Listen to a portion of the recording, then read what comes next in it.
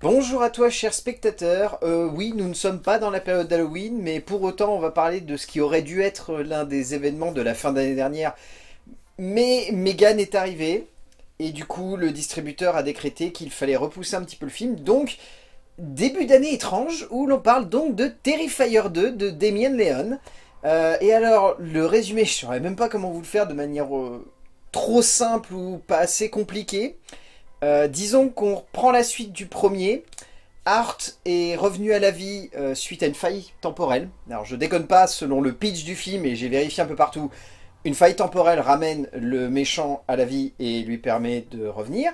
Euh, et on se retrouve téléporté un an après les événements de Miles County, dans la famille de Sienna, qui va voir Art débarquer le soir d'Halloween.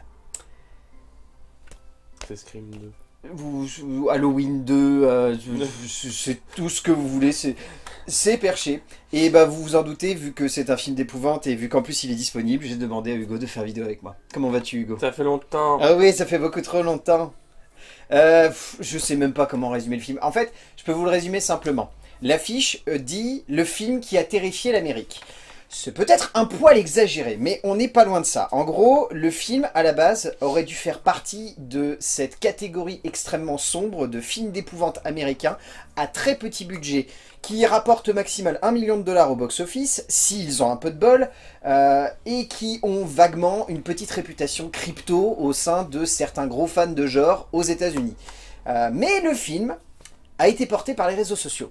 Parce que littéralement, visiblement, il y a des gens qui avaient des problèmes de cœur en plein milieu de la séance, qui vomissaient aux trois quarts du film, euh, ou alors qui avaient besoin d'appareils respiratoires parce que bah, visiblement le long métrage était trop hardcore.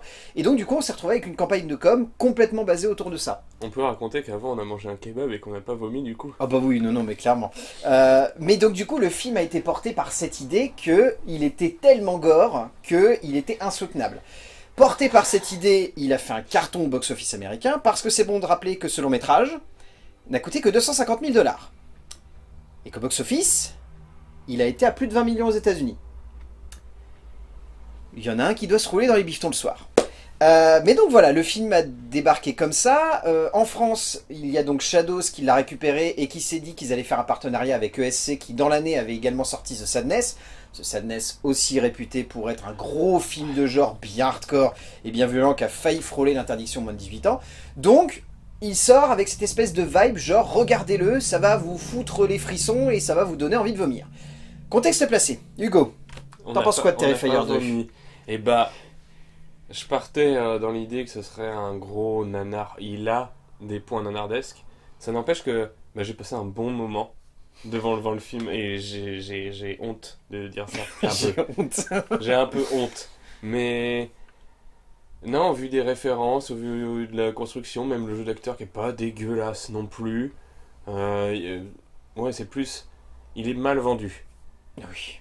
C'est un nanar fun qui pourrait passer en nuit fantastique à Nantes. Tout à fait. Très clairement. Ouais. Voilà, on est plus sur ce genre de film.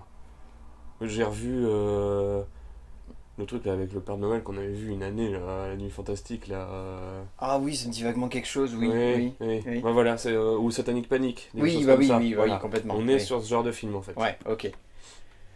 Oui, bah, je suis d'accord avec qui toi. qui a aucune raison de percer, mais qui la perce. Oui, voilà, bah, parce qu'on est sur l'anomalie. Mais on va dire qu'aujourd'hui, c'est les anomalies, entre guillemets, qui portent un petit peu les, les, mouvements, entre guillemets, de foule au cinéma. Parce que, euh, on va pas se voir la face, si je devais prendre un événement dernièrement qui a eu lieu qui reste une anomalie, ça reste quand même Avatar 2 qui sort 13 ans après le premier, et les gens courent quand même le voir. je ne compare pas Terrifier 2 à Avatar 2, hein, non, non, loin de là. Mais je pense profondément qu'en fait, ce qui fait qu'un film aujourd'hui a du succès, c'est quand il est porté par une certaine idée qu'on se fait de celui-ci. Terrifier 2 est ce genre de film où on peut se crêper le chignon à s'imaginer des raisons pour lesquelles il sortirait. Moi, je pense vraiment qu'il a eu droit à un effet de mode, qu'il est sorti dans la bonne période aux États-Unis. Grave à l'époque. Oui, en un où, sens. où on vendait grave comme les gens ont fait des malaises dans le cinéma, on vomit dans le cinéma. Dans le genre, je comparerais plus le film pour le côté américain au projet Blair Witch qui à la base se vendait comme un truc extrêmement Oui. bateau et de fil en aiguille a réussi à se créer une, une- une vraie, Oui. une, une vraie, une vraie popularité en, en ayant justement cet attrait pour les gens. C'est pas non plus Blair Witch quoi. C'est pas non plus Blair Witch clairement, mais il y a cette idée comme quoi le film a coûté que dalle, euh, les gens Oui. sortent en vomissant. Ah bah faut absolument qu'on aille voir le film. Euh, après oui, tu l'as dit, c'est on, on est à- en fait pour moi le film a vraiment des attraits qui sont euh, pas forcément nanardesques mais comiques. Dans Oui. le sens où je trouve que Damien Leone, il a vraiment choisi de faire un film où l'objectif principal n'est pas uniquement de faire peur, Ah oui, c'est aussi d'amuser et vraiment d'amuser de en manière moquant, première. en se moquant des codes du slasher, en- Complètement. en- même euh, la, en se moquant de la peur du clown, en poussant au paroxysme le personnage de Hart euh, qui ne parle pas, qui fait ses grandes mimiques là de, Bah, de Art mime, est une espèce de version sans voix de Pennywise, mais low budget, quoi. Oui, c'est ça. clairement C'est ça. clairement C'est Art est un espèce de clown qui vraiment en fait des caisses. ça et Michael Myers. Quoi. Non, mais c'est ça. Et encore, euh, ça et Michael Myers, mais qui aurait pris euh, beaucoup, beaucoup, beaucoup, beaucoup de drogue en plein Oui, milieu, quoi. oui, et qui se serait dit, oh, le monde est rigolo, je vais arrêter de parler, je vais buter tout le monde. C'est... Et voir des enfants morts. Et voir des enfants morts qu'il prend pour sa fille. non, mais C'est peut-être sa fille. mais peut-être. Non, mais c'est le, le film est vraiment perché à un point où, vraiment il, faut juste le voir comme une barre de fun et pas grand chose de On plus. a passé deux heures et quart, parce qu'il dure quand même deux heures et quart, Oui, ça j'allais en parler ensuite, mais oui, oui, oui. à faire des théories sur. Sur le Sur le pourquoi du comment, parce Oui. que en fait, euh, le film est, moi personnellement, c'est le plus gros reproche que je peux faire au film, c'est beaucoup trop long. Mais genre beaucoup trop long. Je sais que toi, ça te choque pas. Mais moi, pour moi, c'est vraiment un moment, euh, même si on s'amuse, il y a vraiment un moment où tu te dis, ouais, ok, on se marre, mais 2h18, quoi. 2h18 De pur bonheur. Ah ouais, non, non, mais c'est long. C'est clairement beaucoup trop long. Euh, je te propose qu'on saute sur l'écriture, comme ça, ça va nous enchaîner un petit peu sur euh, pas mal de points. Euh, l'écriture, donc, c'est Damien Leone tout seul. Damien Leone, donc, c'est bon de le résumer, il est obsédé par ce clown. Parce qu'il a fait quatre films, je crois. Et sur les quatre films, il y en a trois qui sont centrés autour de Art. Qui, à une époque, ne s'appelait même pas Art, s'appelait Le Clown. Et ensuite, il y a eu Terrifier, et là, il a mis en place Art. Et ensuite, il y a Terrifier 2. Et il y a un tout premier film où c'est une compilation visiblement de personnages horrifiques qu'il a créé. Et il y a déjà ce fameux clown dedans. Donc vraiment, c'est son obsession. C'est c'est vraiment le, le personnage qui drive toute sa filmographie. Euh, je trouve qu'en termes d'écriture, le film est, me fait beaucoup penser à certains vieux slashers qu'on pouvait avoir dans les années 80 et 90. Oui, Ce clairement. côté vraiment, euh, ne brodons pas des pseudo-métaphores ou des réflexions autour des personnages, concentrons-nous simplement sur un type qui débarque à un endroit T, et son objectif, c'est de buter tout le monde. C'est vraiment ça. Donc j'aime dans cet aspect-là cette radicalité qu'a eu Damien Leone d'accepter visiblement le fait que il ne peut pas non plus en faire des caisses, il ne peut pas non plus amener trop de trucs. Donc il amène son perso, Il point barre, débrouillez-vous avec. qu'il a plutôt bien compris les codes du slasher. en Ah fait. oui, non, non, enfin, là-dessus, euh, ouais. Tout le long, j'ai senti des références euh, bien amenées Hmm. et plutôt subtiles, alors que le film ne l'est absolument pas. Mais les références sont subtiles. Oui. À Halloween, à Scream, à toutes ces choses. Déjà, rien que le, À Pennywise, le, à- le- le panneau de début avec le titre du film, c'est exactement le même que Scream 1 ou 2. Oui, c'est ça. C'est vrai que ça fait beaucoup penser Voilà. à ça. Il manque Mais juste le côté on ça- scratch l'écran, Oui. mais euh, c'est quasiment Mais ça. voilà, c'est Mm. des références subtiles tout Ouais. au long du film. Complètement. Et on sent que son objectif en termes d'écriture pure, c'est de faire l'équivalent d'une maison hantée, quoi. C'est-à-dire de nous balader d'endroit en endroit, de nous terrifier avec un truc, puis avec un autre, puis avec un autre, puis avec un autre, et de jouer autour de cette mécanique où, en plus de ça, il y a vraiment le côté un peu fun, où tu te dis que tu peux te marrer avec tes potes, quoi. Parce que je pense Oui. que c'est aussi ça le côté ludique qui porte le film et qui fait que les gens aux États-Unis sont allés le voir en masse. C'est parce que clairement, il y a le côté, si tu vois tout seul, tu peux vite t'ennuyer. Oui. Mais Ah si tu le vois bien entouré, bah, tu peux te marrer et passer un bon moment. Et vraiment te taper des barres, à trouver des situations complètement euh, outrancières ou grand guignolesques. Et pour autant, tu te dis, bah, c'est peut-être outrancier, mais au moins, ça se tient. Mm. T'as pas un moment où t'as envie de dire, à la bon... scène d'Halloween avec les enfants qui tapent à la porte. là. Ah, mais celle-là, elle est... Voilà. voilà, voilà. Vous verrez si vous voyez le film, mais cette séquence est à l'image de tout le long métrage, c'est-à-dire qu'elle est surréaliste. Mais dans le contexte du film, on se dit, Ça passe. oui, Ça pourquoi pas. Pourquoi pas. Mais après, on peut pas évoquer grand-chose de plus parce que euh, concrètement, l'écriture euh, est vraiment basée sur le fait qu'on a donc cette famille autour de Sienna et de son frère Jonathan qui vont avoir une pseudo-évolution familiale par le biais d'un rapport entretenu euh, avec le Hart, le clown, et leur père décédé. Euh, Chose restant très énigmatique, donc je ne sais pas si c'est que Damien Leone a déjà en tête un Terrifier 3 ou si c'est juste qu'il se dit il faut amener un petit peu plus de profondeur.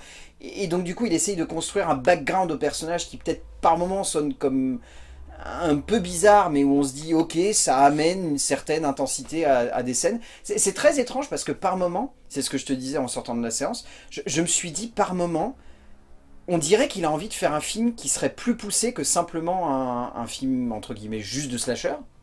Et en même temps, il veut pas pousser le bouchon trop Oui. loin parce qu'il se dit, je vais Ça pas non plus perdre mes spectateurs. Mm. C'est pas un mec qui se dirait, je fais It Follows. C'est plus un mec qui se dirait, faisons Scream mais version Z quoi. Oui. C'est clairement ça. C'est clairement ça. On spoil très vaguement, parce que je sais que toi tu as une petite théorie à évoquer. Donc comme d'habitude, le petit timer est en bas. Euh, pff, euh, en fait, oui, vas-y, vas-y. Je peux? Oui, vas-y, éclate-toi. Hein. Sienna et Jonathan ont perdu leur Jonathan, papa. Jonathan, s'il te plaît. Non, Jonathan. Jonathan, Jonathan. Jonathan ont perdu leur papa, qui apparemment, d'après la, la- la maman qui est toujours vivante, perdait la boule, ne contrôlait plus ce qu'il faisait et aurait fait des choses atroces. Et en plus, Ouais, on n'en aurait- sait, sait pas beaucoup plus. la seule chose qu'on nous dit, c'est que potentiellement il aurait eu des visions. Voilà, parce qu'il y a un carnet avec des dessins qui seraient liés à toute l'intrigue du film, qui aurait prévu l'avenir euh, d'après certaines théories, bref. Et suite à cet incident où ils perdent leur papa, Art apparaît quelques années plus tard.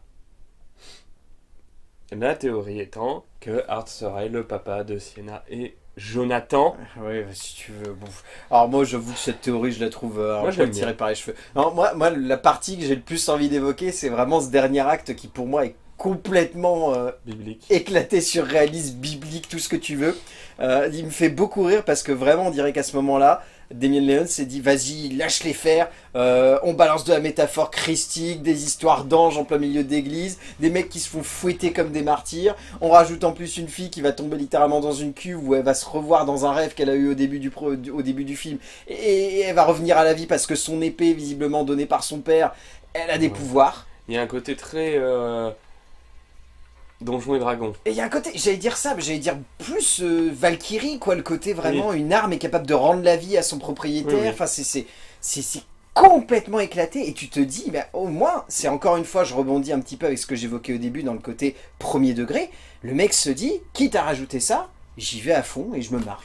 Donc, certes, c'est débile. C'est pousser les codes du slasher, de l'heroic fantasy. euh, là, on voit bien qu'elle est fan de Donjons et Dragons. Ah, ça, c'est Du petit frère qui est fasciné par les serial killers, qui a des posters de métal partout dans sa chambre, évidemment.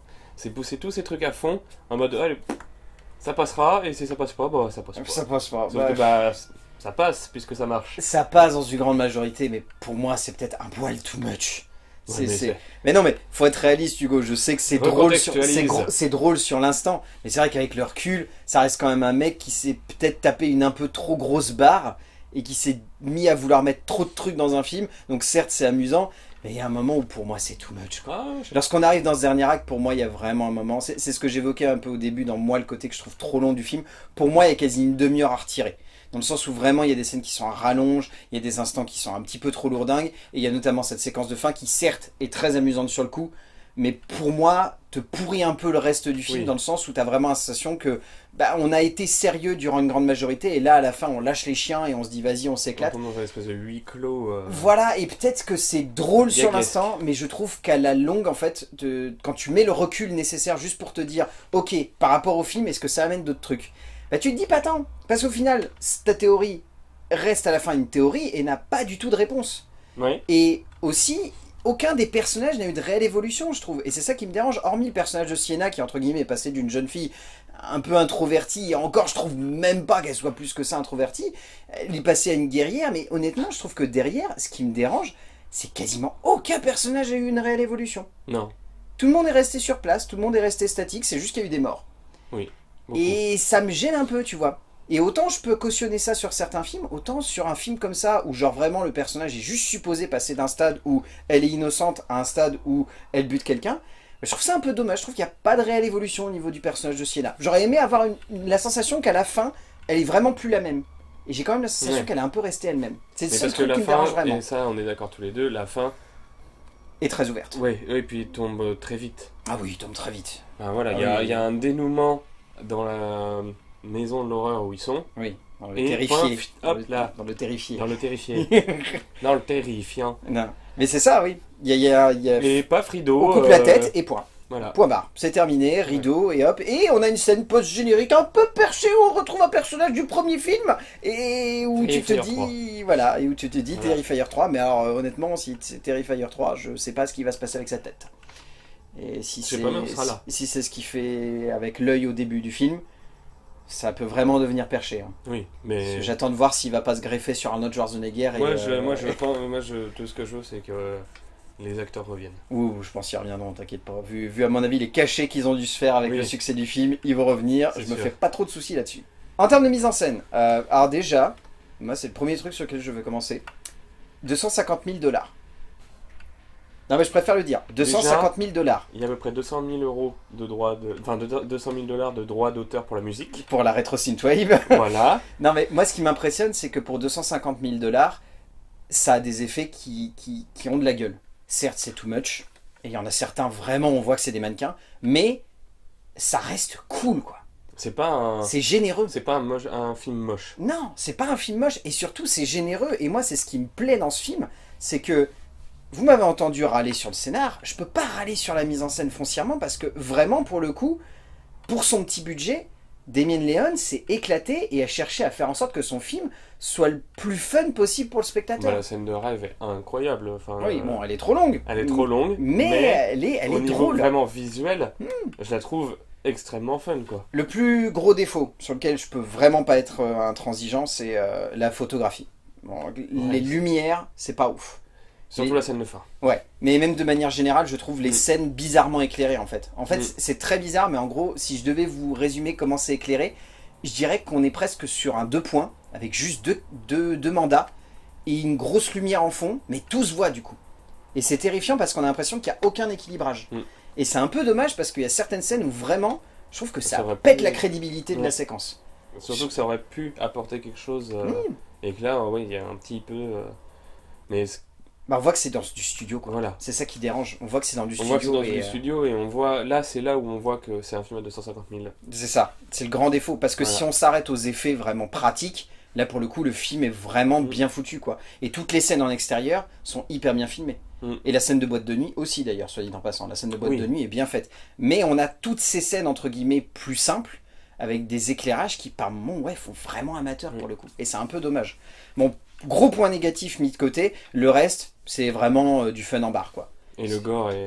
très Le bien gore fait. est vraiment bien géré, je veux dire. Mm. Pour le coup, on est vraiment sur un film qui, bah, je disais généreux, je pense que le mot généreux est faible en fait pour définir à quel point le film a vraiment envie de nous faire prendre un pied monumental. Quoi. Mm.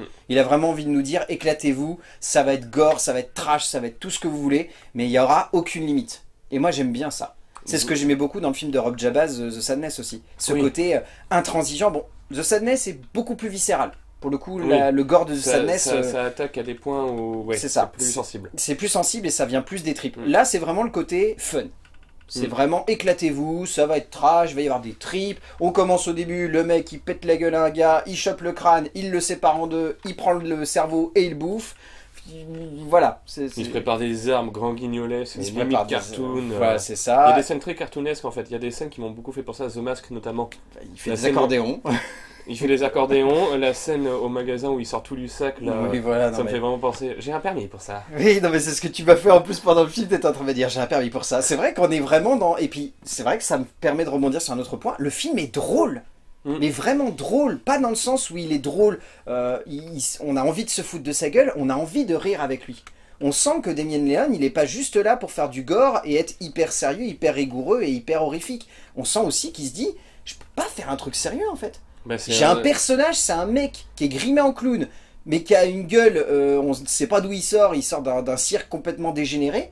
Il se balade dans la rue, à la limite en mode je m'en fous avec son sac, on dirait un clodo. Je peux pas en faire un personnage vraiment terrifiant. Il faut qu'il y ait un petit côté euh, drôle et sympathique. En fait, je pense guillemets. que ça nous parle parce que on sent qu'il a grandi avec les mêmes références que nous. Ça, même si c'est des références très très larges, hein, que ce soit American Horror Story avec ce- l'espèce de clown dégueulasse, ou que ce soit avec The Mask ou avec plein d'autres choses. j'ai- moi, je pense aussi à Scream, tout euh, simplement, parce oui. qu'on est vraiment sur une figure qui avance, qui est capable de se péter la gueule. C'est ce, qui, c'est ce qui faisait la grande réussite de Scream, c'était que c'était autant un film qui était capable de, de vraiment terrifier, qu'autant par moment de faire rire lorsqu'on Oui, a le tueur qui littéralement se prend, les, se prend les pieds dans le tapis et se pète la gueule, quoi. Et on n'est même pas dans du, on n'est même pas dans du Scary Movie, on est vraiment dans du Scream. Il y avait déjà cette ambition de la part de Wes Craven d'amener de la comédie au sein de l'horreur. Donc, Et euh, même clairement, euh, ouais. tous les films des années 80, les teen movies et tout, ça, ça- ça se sent qu'il a baigné dedans. Ah, Et forcément, bah, ça nous parle puisque c'est des choses qu'on apprécie. Ah ben oui, oui j'apprécie bien. Oui, On aime bien. oui. Mais ouais, donc à partir de là, on pourra pointer du doigt tous les points négatifs qu'on veut. Comme tu dis, il y a ce côté généreux, il y a ce côté euh, ça nous parle parce que c'est notre génération, il y a ce côté euh, ludique de euh, je sais pas vas-y, quel âge il a ce monsieur, mais j'ai l'impression qu'il a notre âge. Mais je quoi. pense qu'il est pas si vieux que ça, je crois qu'il a une petite trentaine tassée, Oui. un truc comme ça, mais euh, on sent qu'il y a le côté passionné et passionnant qui ressort, quoi. Donc, certes, on peut pointer du doigt le côté très amateur de la démarche, on peut pointer du doigt le côté euh, très simple par moment de certains effets pratiques ou, ou de certains éclairages, mais au moins, ben, on se marre, on Mm. passe un bon moment, on s'ennuie pas, Bon, même si on trouve le temps long quand même. je mets quand même un trigger warning à tous ceux qui sont. Enfin, qui ont la phobie des clowns. Oubliez ce film. Vraiment, là pour le coup. Et les hémétophobes aussi. Mais ça, Oui. je pense qu'ils s'en doutent un petit peu. Mais voilà, euh, pour ces personnes-là, malheureusement, euh, ça ne pourra pas faire partie de vos petits plaisirs parce que je pensais à des personnes qui euh, ont cette phobie-là et je me dis, tout le film, pour le coup, pour eux, c'est vraiment un film d'horreur. Oh oui, complètement. Vraiment. Complètement. Et je pense aussi à la gamine qui joue dans le film. De Dieu, elle va faire des cauchemars toute sa Oui. vie. hein. Oh oui. De Dieu, ouais, j'aimerais pas être les parents de cet enfant. Oh non. Euh, casting. Parce qu'on a quand même un joli casting. Alors, soyons clairs. Le casting, c'est pas des gens qui sont non plus hyper talentueux. Les trois quarts, c'est leur premier long métrage où ils ont fait que des petits rôles derrière. Donc il faut être indulgent là-dedans. Parce que donc Lorraine Lavara qui joue donc Sienna, Bon, moi, Elle est bien. Moi, je bien. elle est bien. En fait, pour moi, c'est la plus grande réussite en termes de Mm. casting de ce film. Clairement. Parce que, ah bon, deuxième plus grande réussite du casting de ce film, parce qu'il y a David Howard Thornton qui joue Art, Oui. qui a vraiment une gueule, c'est extraordinaire. Je veux dire, il est complètement possédé par le personnage et je le trouve euh, à mourir de rire. On sent Le qu'il maquillage s'éclate. lui va vraiment bien. Ouais, le maquillage lui va vraiment bien et c'est un truc de fou. Euh, après, voilà, Kaylee Ayman qui joue Brooke, euh, on peut citer Jenna Cannell qui joue Tara, on peut citer Catherine Corkin qui joue Dawn, on peut citer euh, Samantha Scafidi qui joue Victoria sous un sacré, sacré paquet de maquillage. Euh, on peut citer Felicia Rose, on peut citer Casey Hartnett. Enfin, pour moi, c'est ça le souci. C'est qu'on passe les deux acteurs principaux. Le reste du casting, c'est Ouais. quand même pas ouf. quoi. Je pense à la, à la maman des, des deux enfants qui est... Catastrophique. Oui. Catastrophique. Oui, oui. C'est c'est la cata. Mais c'est le souci, entre guillemets, dans ce genre de petite prod. Oui. C'est là où le film arrive à s'éclipser par le biais de ces deux interprètes principaux qui sauvent pour le moi quand même extrêmement bien la mise. Mm. C'est que généralement, ces films-là, c'est joué par des mecs ou des, ou des meufs qui sont pas hyper talentueux, quoi. Et qui ont du mal à nous faire rentrer dans leur personnage. Les plus, les plus grands acteurs qu'on ait pu rencontrer. Ah bah non, clairement. À partir du moment où tu me dis que euh, l'acteur le plus connu de ce casting, c'est un gamin qui à un moment joue euh, le fils de Cobra Kai, euh, il y a un voit, moment- qu'on voit 3 minutes, il y a un acteur de Cobra Kai. Voilà, un petit, petit coup de cœur au niveau série, regardez là. Euh, vraiment, il apparaît 3 minutes dans le film et j'étais là. Mais c'est un acteur de Cobra Kai. Voilà, c'est le seul, euh, la seule personne qui. Voilà, a c'est la seule star de, de Voilà. ce film. Bon, je pense qu'il doit y avoir quelques acteurs secondaires ou tertiaires qui ont peut-être interprété des, des grands rôles à une époque, mais on les reconnaît Non. pas parce que peut-être c'est vraiment des tout petits clins d'œil. Mais voilà, disons que vous enlevez les deux acteurs principaux, rapidement, le casting devient un petit peu bancal et maladroit et ça se tient pas. Et après, niveau musique, euh, si vous aimez la rétro synthwave, euh, ce film, euh, c'est un bonheur pour les oreilles. Vraiment, il n'y a que ça, du début à la fin. C'est Oh, absolument ils ont passé du. Time Cop 1984, j'étais tellement. Ah oui, non, non, mais ils se sont éclatés là-dessus. Euh, bon, on arrive à la fin de cette vidéo sur Terrifier 2. Qu'est-ce que tu en retiens, mon cher Hugo? Et bah, un bon moment, avec des bonnes idées, avec l'envie de voir la suite quand même. J'ai quand même envie de. Je suis curieux. De voir ce que ça va donner et de voir ce que ça peut aussi apporter euh, dans l'avenir du cinéma de genre. Ouais. Ah, moi, je pense que ça apportera pas grand-chose. Mais Ah, euh, ouais, on se marre bien. On se marre bien sur l'instant. Non, je pense que clairement, par contre, ça va ouvrir des portes à Damien Leon. Des portes qu'il Oui. n'aurait jamais eu l'opportunité d'ouvrir s'il n'y avait Clairement. pas eu ce film. Honnêtement, ça m'étonnerait pas que d'ici 2-3 ans, on se retrouve pour reparler de Damien Leone, mais avec un plus gros budget, avec de plus grosses ambitions. Ça sera à peine Ça étonnant. Ouais, non, mais ça sera à peine étonnant parce qu'à mon avis, vu le succès qu'a eu son film là, il va forcément être démarché par des personnes. Oui. C'est obligatoire. Euh, le film en tant que tel est marrant. Je pense pas qu'il sera distribué dans beaucoup de salles euh, et qu'il sera programmé à des heures euh, normales. À mon avis, ce sera des heures très tardives. Mais si vous avez l'occasion de voir Terrifier 2 de Damien Leone, vous passerez pas un mauvais moment. Alors, c'est bien, je le redis, n'y allez pas tout seul. N'y allez pas tout seul, n'y allez pas si vous avez peur du sang, n'y allez pas si vous avez peur des clowns, n'y allez pas si vous aimez pas le gore. Et n'y allez pas si vous attendez un film sérieux. Voilà, C'est voilà. Euh, allez voir un nanar. Allez voir un- Allez à la nuit fantastique. euh, Voilà. voilà. non mais allez vous taper une bonne barre, bien entourée, en sachant que vous allez rigoler et que vous allez passer un moment fun. N'y allez pas en vous disant que ça va être le film d'horreur de votre vie. Ça n'est pas le film d'horreur de votre vie, Clairement pas. clairement pas. Mais vous passerez un bon moment devant. Merci mon cher Hugo. Bah, merci à toi. Bah, je t'en prie, tu sais bien que c'est un plaisir quand tu reviens ici. Euh, normalement, on va se revoir dans pas longtemps. Oh oui. Normalement. Oh oui. Et d'ici là, on va dire aux gens d'aller voir des films. un peu plus sérieux. Oui, beaucoup plus sérieux. Beaucoup plus sérieux. Beaucoup plus sérieux. Mais toujours un film d'horreur. Oui, Mais beaucoup toujours. plus sérieux. Forever. Et d'ici là, on va dire aux gens d'aller voir des films parce que c'est bien d'aller voir des films. Et on se retrouvera pour parler de films, bien évidemment. A plus Allez, salut. Bah non. Si En fait, à la fin, le personnage du premier film qui survit, qui est complètement défiguré, qui est dans un hôpital psychiatrique, accouche de la tête de Hart, qui a été emmené par la petite fille que Hart voit dans le 2.